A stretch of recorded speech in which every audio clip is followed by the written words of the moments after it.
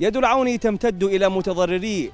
زلزال تركيا وسوريا عمل على مدار الساعة 24 ساعة في خدمة كل من يحتاجها من المتضررين.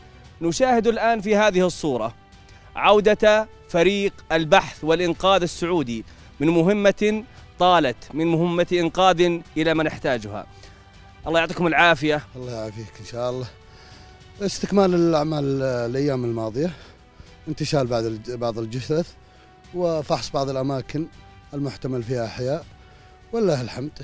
كل يوم ورا يوم انتشال الجثث وفحص الأحياء ولكن بنسبه ضئيلة جدا. نسأل الله لهم الرحمة والله. شكرا. يعطيكم العافية. الله يعطيكم العافية يا شباب أعطونا مشاعركم. الله يعافيك. لله. مشاعركم. الحمد لله. الله يكتب لنا الأجر إن شاء الله.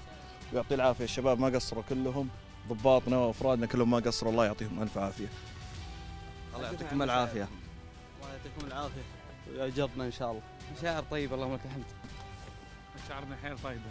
أمورنا حيل طيبة. الحمد لله رب العالمين. وش آه. أبرز المواقف اللي شفتها؟ ما تنساها إلى هذه اللحظة. أه ناخذ أطفال نشيلهم من تحت الأنقاض ناس تستنى ناس تستنى أهلها أخوانها. اللي يستنى خطيبته اللي يستنى عياله. شيء صراحة أول مرة أشوفه. شيء يتعب القلب. ما عندنا تعب نفسي كثر ما عندنا ما عندنا تعب جسدي كثر ما عندنا تعب نفسي الصراحة. الله يقويكم الله يطول عمرك. للبلد الله- المساعدة للمحتاجين. الله يعطيكم العافية إن شاء الله. شكرا. لكم. شكرا. إذا فريق الإنقاذ والبحث السعودي قدم هنا الآن في غازي عنتاب سلم أعماله إلى فريق الإنقاذ والبحث السعودي الفرقة الأخرى في أنطاكيا التي تستكمل العمل لمساعدة المحتاجين في أنطاكيا. عبد الله الرويس الإخبارية. غازي عنتاب.